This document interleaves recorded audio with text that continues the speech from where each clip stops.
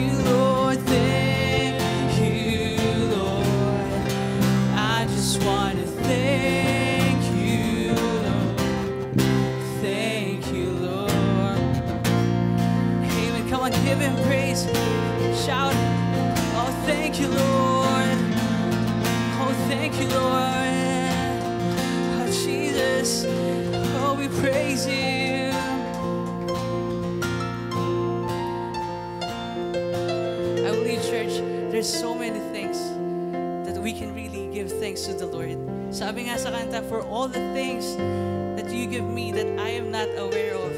Sometimes kahit hindi tayo, uh, minsan kahit nakalimutan natin si Lord, andyan pa rin siya para sa atin eh.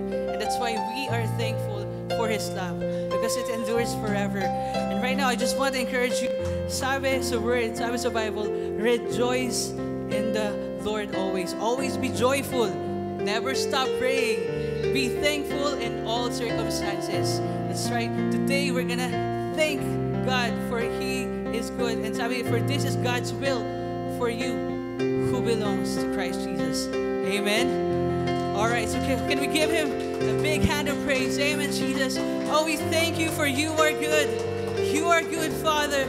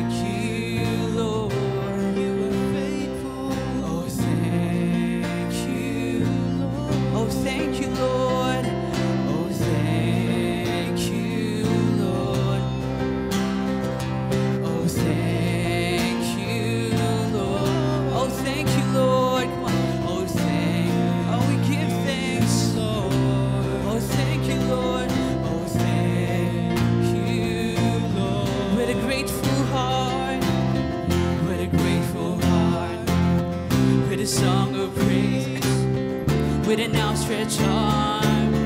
I'll bless your name.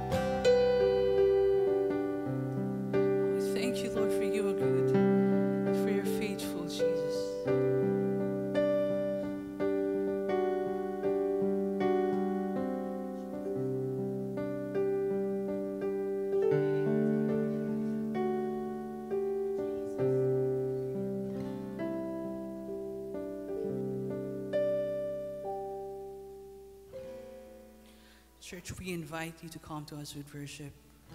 So I pray right now the Lord is good and He is also a good, good Father to us. Amen. He's the one who's correcting us, He's the one who's disciplining us because He loves us. Amen. So right now, let's give Him praise for being a good, good Father.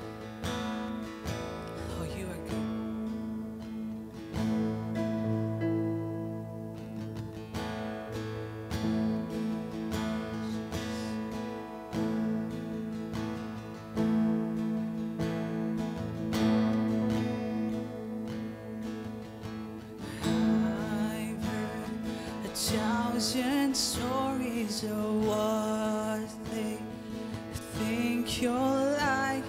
But I heard a tender whisper of the dead.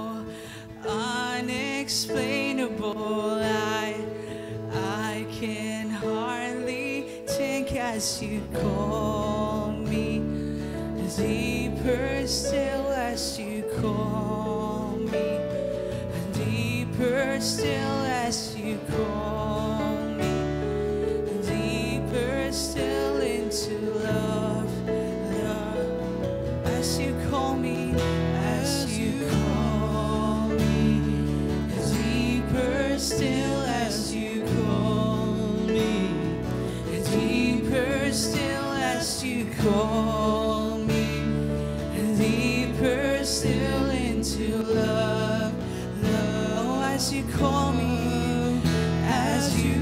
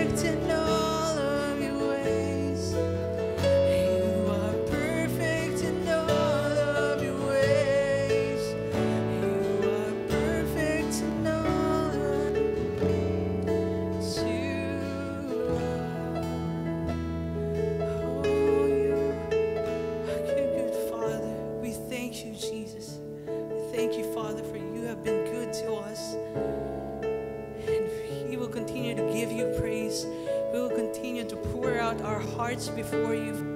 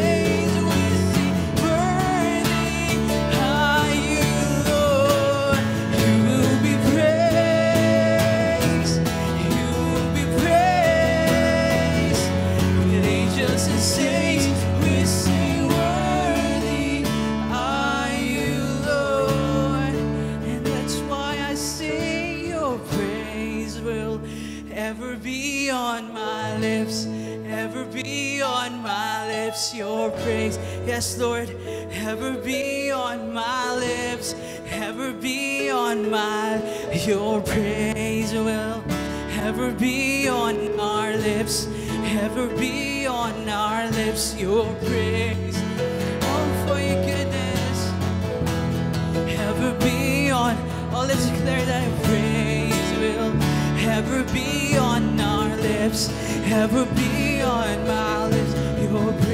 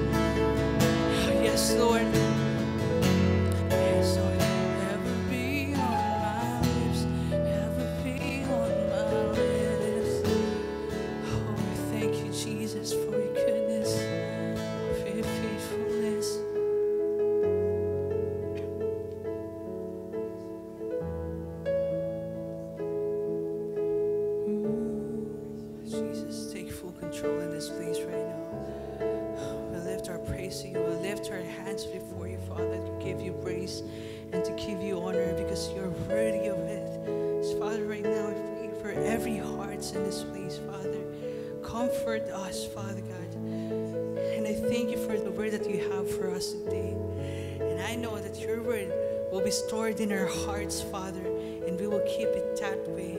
For you are the King of our hearts, Father. And we will praise you, we will give you honor for what you did and what you're about to do in our lives. So, Father, we give you thanks, we give you honor, Father. We give you thanks and we give you honor. You're worthy of it. You deserves all the glory and all the honor in this place, Father God. Give him praise. Father, we thank you and we seal this. And everybody will say, Amen. Come on, give him praise. For he is good.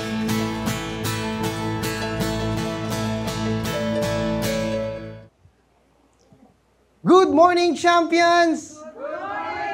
And good morning, church! No? Talagang napaka buti, no? God is good. Nako talaga.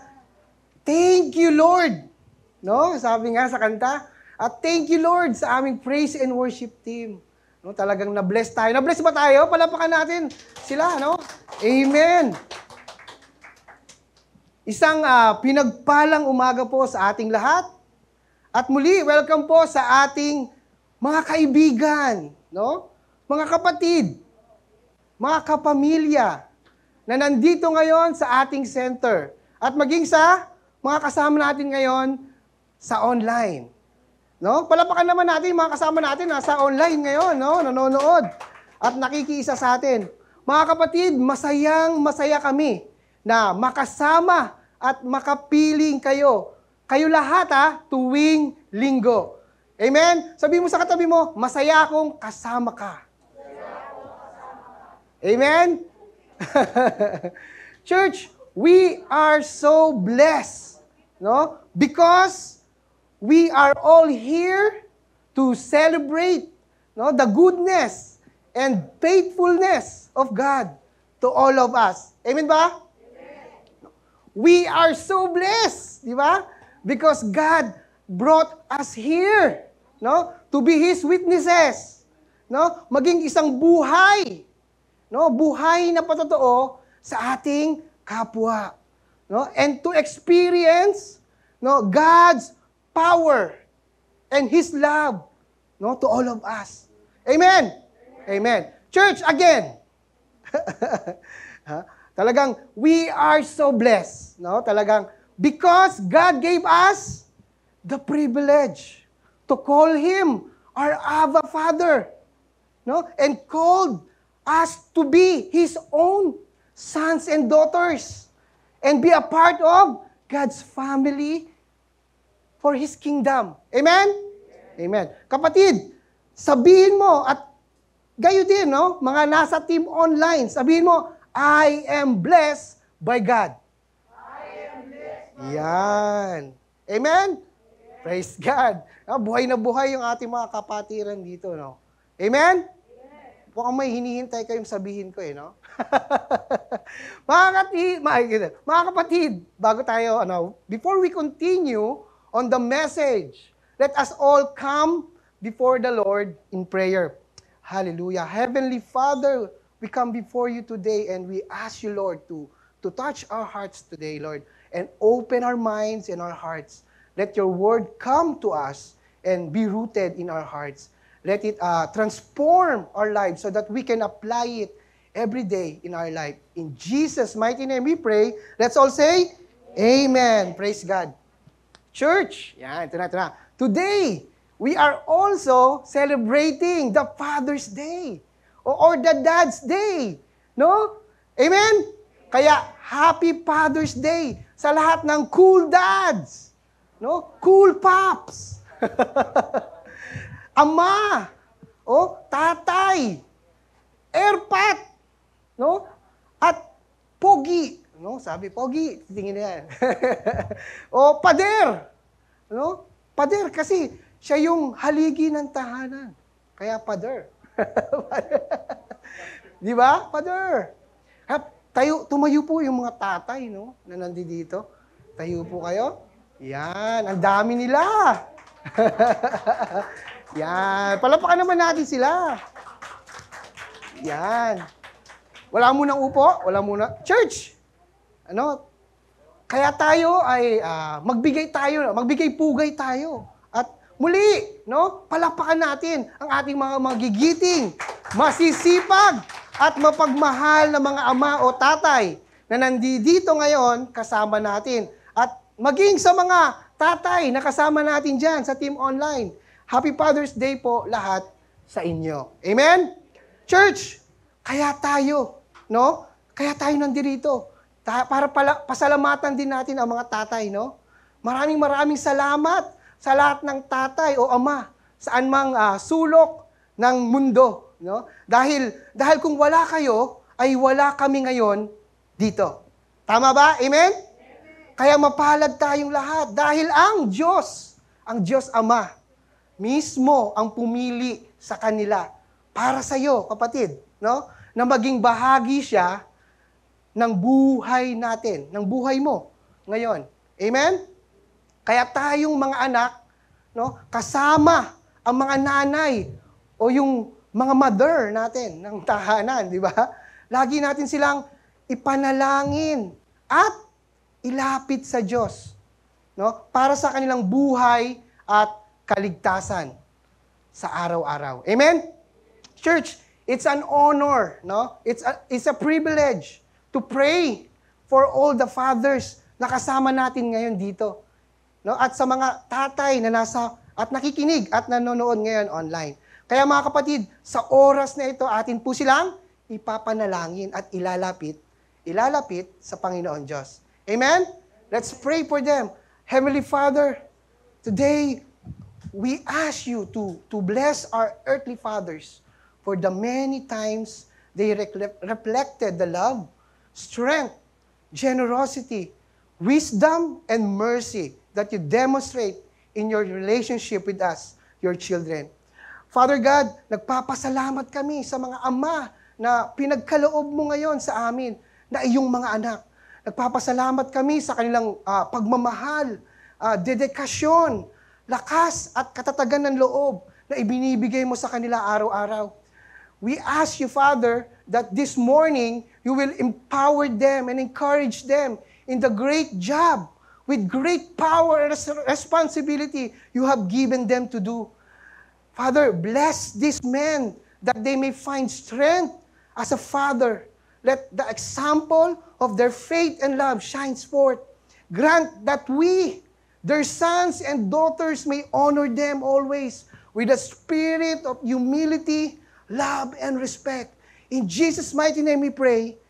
Amen. Praise God. Hallelujah. Makakaupo na po yung mga tatay. Mga nangawit sila tatay. Kitang-kita na yung edad. Ano? De, ngayon, ah, pagpahingahin natin sila no, sa presensya ng Panginoon. Amen? Ah, muli, I want to challenge every fathers, no? Not only to be a physical father, no? But to be a spiritual father or leaders in their family in everyday life. Amen? Mga kapatid, kailangan ng bawat pamilya ng isang tatay na mangunguna. No? Magli-lead sa kanila spiritually at ilalapit tayo sa Panginoong Diyos. Amen? Kailangan natin ng tatay na na magpapahayag no ng mga utos, mga pangako at salita ng Diyos sa atin. At makakasama natin sila sa araw-araw na pagtupad at pagsubay uh, pagsasabuhay ng mga ito. Amen? Amen. Church, tayong mga anak, no? We need a father who leads us patungo sa daan at presensya ng Diyos. Amen? Napakahalaga po nun. Mga kapatid, lalo na no, sa mga tatay na nandito at nanonood ngayon online. Na, naitanong nyo na ba no, sa sarili mo, sa mga tatay, natanong mo na ba, am I doing a great job as a father and or a husband to my family? No? Natanong mo na ba yon? Kapatid, minsan, di ba, nakakatakot sagutin. ang tanong na ito. Kasi mas nakakatakot malaman ang sagot dito. Amen? Natanong mo na ba ang ma- ng mga anak mo? No? Natanong na ba ng mga anak mo sa iyo? Or natanong mo na ba sila? What are dads for? Di ba? natanong mo na ba sa mga anak mo ito? Para saan ba ang ta- mga tatay? No? At ano ba ang kanilang mga silbi? Amen? Si, yung ginagawa ko, tinanong namin si Jacob, tinanong ko si Jacob, eh, yung anak ko. No, sabi ko, ah, kagabi lang to. Kaya sabi niya, Jacob, ano ba yung silbi ko? Sa'yo at sa bahay na ito. sabi sa akin, marami, marami. Sabi niya ganun. Nagkatapon ka ng basura. Sabi niya, tagabuhat ng mabibigat. Tagalinis ng banyo. At tagaayos ng mga sirang gamit sa bahay. Di ba, Papa? diba? Hindi daw. Joke lang daw, sabi ni Jacob. Bumawi. Bumawi. Na-impluensyahan kasi ni Kuya Riel. Sabi. Di ba? Sabi daw, sabi, hindi, provider daw ang tatay. Di ba? Ang mga tatay daw ay provider. Kasi madalas, may pasalubong. no? Kasi sila ang madalas at karamihan ay nasa labas ng trabaho. Ay, nagtatrabaho. Di ba? Kapatid, sa mga tatay, hindi ka lang basta provider. Kasi sabi nga sa Bible, ang mga ama ang dapat maging spiritual leader ng isang pamilya. Ako sa pamilya namin, no, yung nung uh, sumakabilang bahay ay buhay ang tatay namin. uh, ang tumayong uh, provider, no? Yung tumayong provider provider namin sa bahay, yung kuya namin, yung eldest yung pinakamatanda sa amin. Uh, hindi si Kuya Tonyo, no?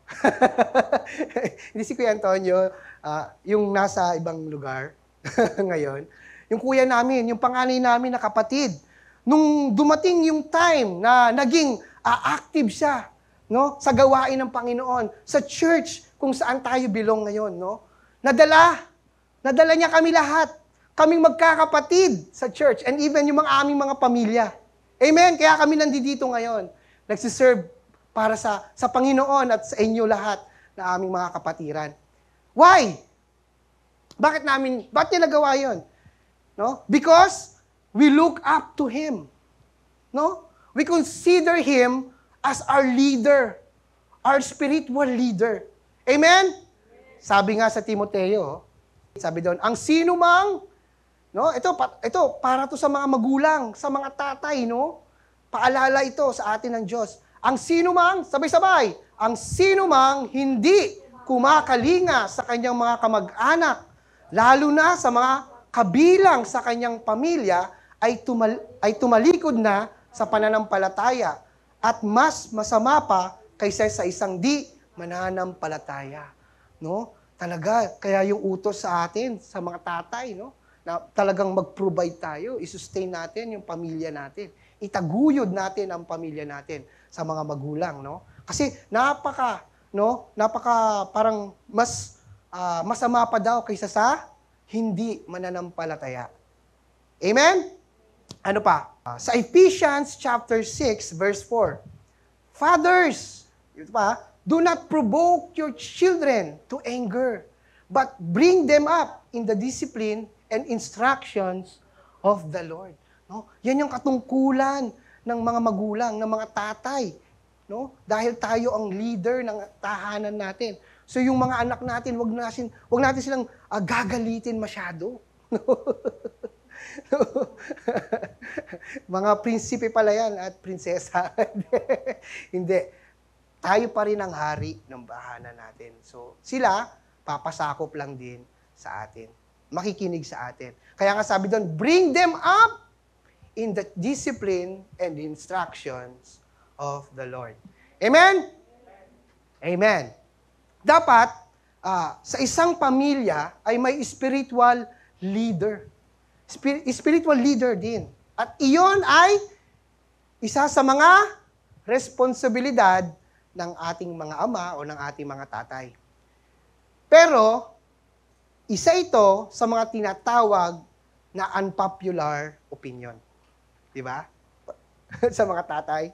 Or hindi masyadong ah, pinag, pinag-uusapan, no? pinag, pinagpapahalagahan no pagdating sa mga ta- sa ating mga tahanan, di ba? Dahil madalas napapako lang ang mga ama sa pagiging provider. Sila rin yung madalas, no? Sa hindi ang unang bumibigay pag sa ganitong mga usapan. Amen? Church, bakit? Dahil isinasantabi nila ang pinakamahalagang responsibilidad no? Yung kany, yung, yung yung responsibilidad niya sa kanyang pamilya. Which is to lead them spiritually. Amen? Mga kapatid, may mga nakita ako, no? May mga nakita ako na pictures sa internet. At isa di ito sa mga magandang ah, illustrations no, or representation no, kung ano ang ayos o order ng pamilya at ang kanilang mga responsibilidad. No? I think nakita nyo na rin to sa internet.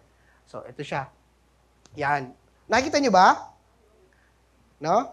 Yung payong. Yan, payong. Yan.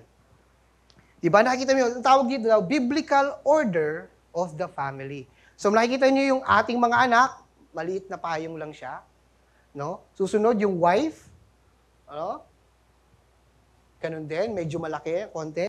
Susunod, yung husband, mas malaki, di ba? And then si Christ, mas malaki yung kanyang sakop, no? yung kanyang payong. So, ito, anuhin natin. So, si children, dapat magpasakop daw kay wife sa nanay niya. At si wife, magpapasakop sa husband niya. And then si husband, si father, magpapasakop kay Kristo. Sa Diyos. Amen? Isipin niyo mga kapatid, kung wala si Christ, kakayanin ba ng husband ang lahat ng responsibilidad na yan? Hindi. Kung wala si husband, puro si wife lang, kakayanin niya ba? Hindi. Maari, pero mahirap. Pero dahil may Diyos, magiging madali. No? Kung kakapit talaga siya sa Diyos. Pero dinisign ng Diyos na may tatay ang bawat pamilya. Amen? Now, sabi doon, ang husband, di ba? Siyempre, alam natin, ang Diyos, Jesus Christ, siya ang source ng lahat. No? Siya nga nagbigay ng pamilya eh. No? Kaya nga nagawa ang pamilya dahil sa Kanya. Dahil sa Diyos. Amen? So si Christ, siya ang source ni husband sa lahat ng pangangailangan ng buong pamilya. No? Kaya nga, siya ang nasa ulunan. Ibig sabihin, siya ang leader. No? Si Christ ang leader ng church, ang, ang mga tatay ang leader ng household. Amen? So, ano ba yung mga responsibilities ng husband? Unang-una is to protect the family. Amen? Ano pa? To provide for his family. No? And then, to lead the family. So, leader siya. Ano pa? Yung wife naman, ano ba responsibilidad niya? Is comforter siya eh. Comfort. Bibigay siya ng comfort. Ito pa, nagtuturo siya. He, she teach and nurture yung kanyang mga anak. Ano pa? Yung, ah, yung mga ah, anak naman natin, ano ba yung mga responsibilidad nila? Children, di ba sabi doon, love their parents. No? Kailangan mahalin mo ang iyong mga magulang. Ano pa? Obey your parents. Yun yung mga responsibilidad ng ating mga anak. Amen? Yan, kita mo na. Tapos yung mga anak natin, no, pasa, kailangan magpasakop sa kanila yung handle. Ay, hindi. Sinabantay. yung mga alaga ninyo na sila yung nag-aalaga. Amen? Amen. So, tandaan niyo yan ha. Yan yung order daw ng pamilya, biblically. Amen? Yan. Church, ano nga ba ang tungkulin ng isang ama? No? Kapatid, good news. May sagot dyan ang Biblia. Dahil ang lahat ng tanong ay nasa Biblia ang sagot. Kaya ang sagot, kapatid, basa. Amen. Ito. Ang title no, ng ating word for today is A Father Who Leads. And today's passage is from Deuteronomy chapter 6, verse 4 to 9. Ang sabi doon, Hear, O Israel, the Lord our God, the Lord is one. Love the Lord your God with all your heart, and with all your soul, and with all your strength. These commandment, commandments that I give you today are to be on your hearts. Impress them on your children. Talk about them when you sit at home and when you walk along the road. When you lie down and when you get up. Tie them as a symbols on your hands and bind them on your foreheads. Write them on the door frames of your houses and on your gates. Basahin natin sa Tagalog. Sabay-sabay tayo. Yan. Pakinggan mo, O Israel, si Yahweh na ating Diyos, ang tanging Yahweh. Ibigin mo siya, ah, ibigin mo si Yahweh ng iyong Diyos ng buong puso, buong kaluluwa, at buong lakas. Ang mga utos niya ay itanim ninyo sa inyong puso. Ituro ninyo ito sa inyong mga anak. Pag-aralan ninyo ito at sa inyong ta- sa inyong tahanan, sa inyong paglalakbay, sa inyong pagtulog sa gabi, at sa inyong pagbangon sa umaga. Ipulupot nyo ito sa inyong mga kamay bilang tanda. Itali sa inyong noo, isulat sa mga hamba ng pintuan ng inyong bahay at mga karangkahan. Amen. Praise God. Mga kapatid, ayon sa word o sa passage na binasa natin, may sinasabi ang Diyos na apat na katotohanan ng pagiging isang ganap na ama. Amen? Church, now I'm sharing to you the four truths of being a father, no? Kapatid, ano? First, remember that you are a a son to a father. Diba? Amen? In Deuteronomy chapter 6, verse 4 to 6, sabi doon, O hear, O Israel, no? The Lord, our God, the Lord is one. Love the Lord your God with all your heart and with all your, uh, your soul and with all your strength. These commands, commandments that I give you today are to be on your hearts. Amen? Bago tayo naging isang ama o magulang ay naging isang anak muna tayo. No? Remember your first love. Si God. No? Pinapakita diyan. Ito yung greatest commandment niya. Church, tandaan natin, mga kapatid, na bago tayo maging mabuting ama sa ating mga anak, dapat alam natin kung papaano maging mabuting anak sa ating Diyos. Yun muna. No? Siya yung ating first love eh. Hallelujah. Sabi nyo, I love you, Lord. Amen. At bago ka magkaroon ng kapasidad, no?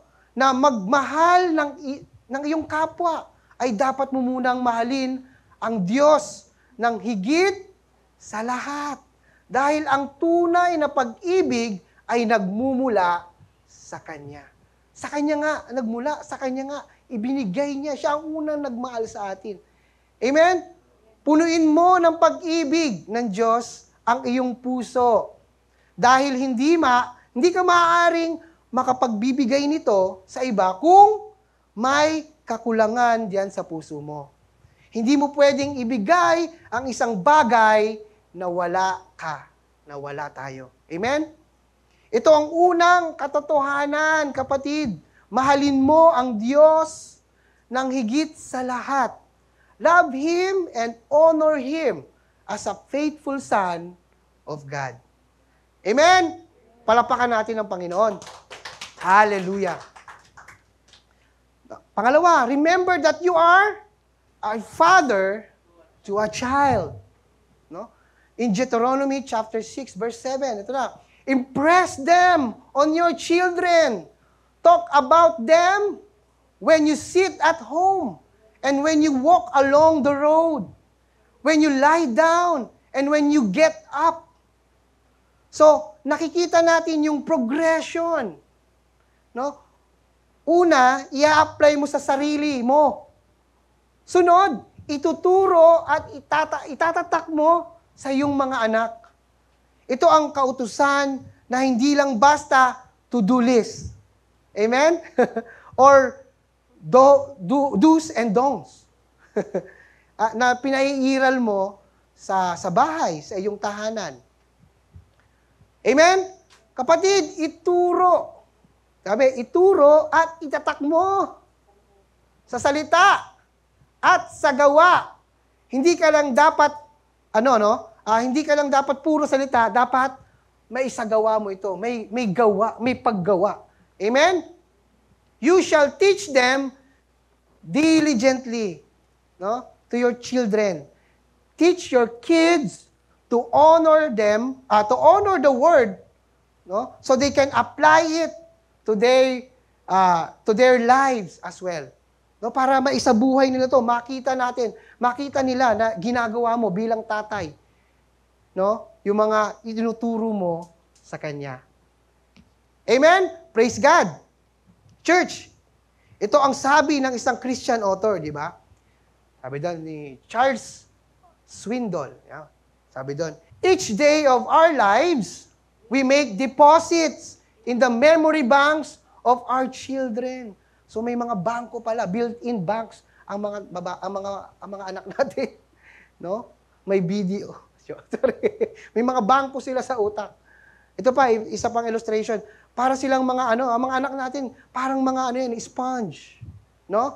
Lahat ng information, lahat ng tinuturo natin, talagang na, na parang hinihigop, 'di ba? Yung sponge pag sa tubig, hinihigop niya yung tubig, nawawala yung tubig. Ganun yung yung pagka-informative nila, no? Talagang sinis sinis ah, talagang lahat ng information pumapasok sa isipan nila. And then, nakikita mo na lang yung mga anak natin na ginagaya na yung nakikita, ginagaya, ginagaya na yung mga sinasabi mo, no? yung mga nakikita na mga napapanood nila. And then, ah, lalo na ngayon, yung mga bata, kakapanood, no? Nung mga sa YouTube, or sa, gumagaling sila sa English. No, nakikita mo nagiging Bri- British na sila, British British accent, no? Dahil kakagaya doon sa mga natututunan nila sa internet. Amen? Ganun daw. Sabi doon, church, mga tatay, mga magulang, no? Bago naging BTS Army at Marvel fan ang mga anak mo, no? Ang mga anak nyo. Isipin mo kapatid, ikaw ang unang idol niya. No? No? Kasi pag tinanong mo nga anak, anak, sino ang kamukha mo? Ikaw. Ikaw po, tatay. Amen? Ikaw yung unang naging example niya, no? Sa lahat ng mga bagay na natutunan niya at nakita niya sa iyo. Amen? Kaya kayo unang teacher sa ating mga anak. Amen? Nakaka-relate ba si ang mga magulang, ang mga nanay? No? Ang mga mother ng tahanan, no? Kaya gumawa at kaya gumawa at magturo tayo ng tama sa kanila. Amen? That's a challenge ha sa mga ah, tatay at mga bagong ah, tatay dito sa atin. Sabi sa Proverbs chapter 22 verse 6, sabi doon, start a children off on the way they should go. Sabi doon. And even when they are old, they will not turn from it. Diba? Amen. So habang bata pa lang, sila, tinitrain na natin sila, tinuturuan na natin sila. Sinishare na natin yung Word of God sa kanila. No, para paglaki nila, kilala nila ang Panginoon Diyos. Kilala nila ang tama at ang samali. Amen! Praise God! Uh, palakpakan natin ang Panginoon. Number three, husband to a wife. Sabi doon. Remember that you are a husband to your wife. Amen? In Deuteronomy chapter 6 verse 7, balikan natin, impress them on your children. Talk about them when you sit at home and when you walk along the road, when you lie down and when you get up. No? Church, mga tatay, dapat ito yung bonding moments ninyong mag-asawa. No? At ito yung ah, at ng buong pamilya, no? Ang asawa mo ang magiging katulong mo sa pagpapahayag sa inyong mga anak ng mga salita at katuruan ng Diyos. Amen? Partnership ito.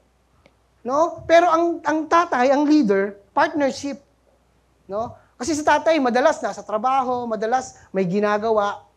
Pero pagdating sa bahay, si nanay ang bahala. Pagdating ni tatay, tulong. No? Devotion ng pamilya. So every morning, every day, kailangan may ganon. May devotion tayo para natututo sila at even magagawa nila kahit sila ay nag-iisa. Amen? Nakakasunod? Amen. Sinabi dito na dapat continuous din ang pagtuturo sa mga anak. Mula pagkagising sa umaga at hanggang sa pagtulog sa gabi. Ayan o.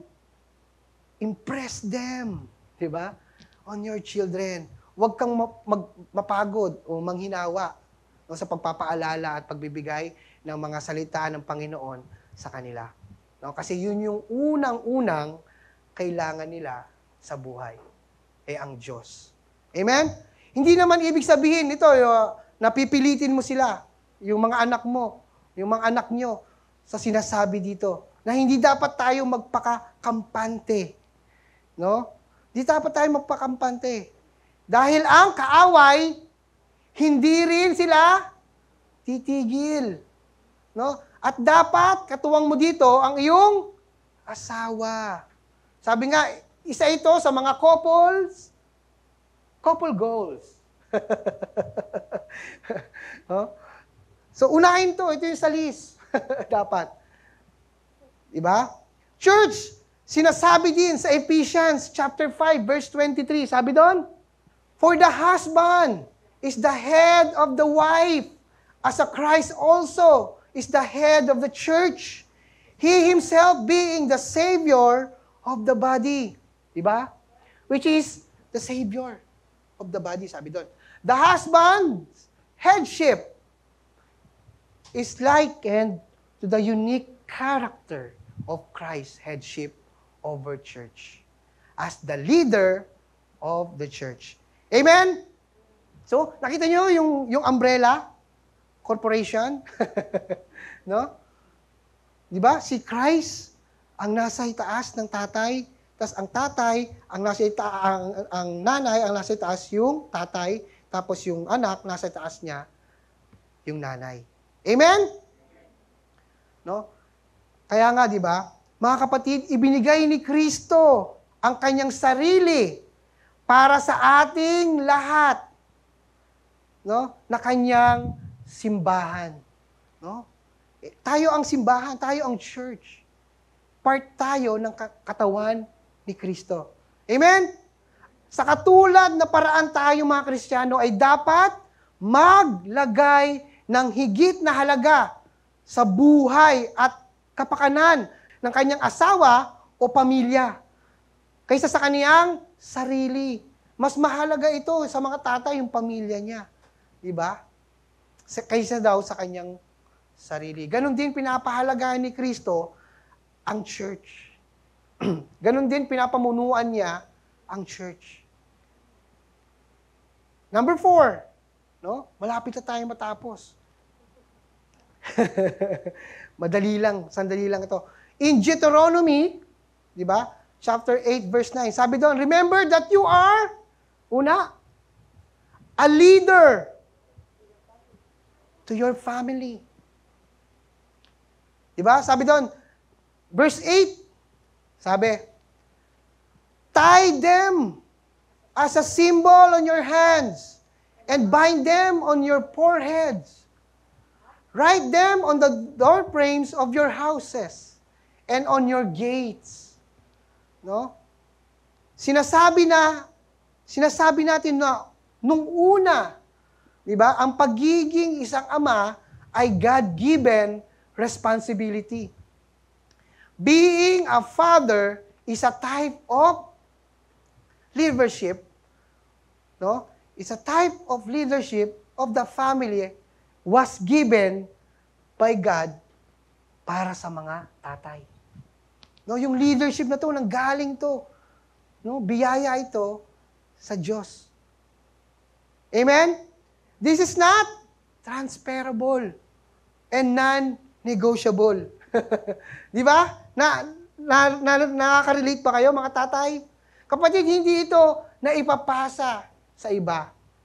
Hindi siya isang para, ano, parang, hindi siya isa pasa, hindi siya parang, ano, isang pasa load. hindi pwede tumawad. What you see is what you get. Amen? Kapatid, kung ano ang sitwasyon ng pamilya mo ngayon, no? Mga tatay, mabuti man o masama ang kanilang kalagayan sa ngayon. Kapatid, lahat ng iyon ay accountable ka. Accountable sa iyo bilang leader o spiritual leader ng pamilya mo. Amen? Fathers are often seen as the authority figure, head and leader of the family that can have the most influence on the outcome of a child or a family. Amen? So, napakalaki ng responsibilidad ng mga tatay. Amen? Hallelujah. Sino kapanood ng Spider-Man? Diba? diba? Meron doon sinabi si, ayun, ang sabi doon, ah, great power comes great responsibility. Diba? Sinasabi doon. Sino nagsabi noon? si Uncle Ben at si Aunt May, di ba? Sa mga Marvel ano, fanatics diyan. So ganun. Ang responsibilidad, no, parang isang malaking kapangyarihan 'yan eh, no? Na ibinag kaloob sa mga tatay. Kaya tayong mga anak, no, tulungan natin yung ating mga tatay. No? Ibigay natin yung nararapat na paggalang, yung pagmamahal natin, no? Yung yung pagbibigay natin sa kanila ng ah ng ano tawag dito, ng kahalagahan. Sa mga nanay din, ganun din. Suportahan natin yung mga tatay, yung mga asawa natin, no? Kasi hindi nila kakayanin ng lahat ng nag-iisa lang. Kaya nga binigay kayo para katulong at katuwang ng mga mga asawa o mga tatay natin. Amen? Palapakan naman natin ang mga magulang, ang mga tatay at nanay natin. At sa ating pagtatapos, no? Sa 1 Corinthians chapter 11 verse 3, sabi doon, But I want you to understand, no, that Christ is the head of every man. And the, the man is the head of a woman. And God is the head of Christ. Amen? As a father, you are uh, you are supposed to lead. No? And that leadership has a God-given purpose. What is the purpose, kapatid?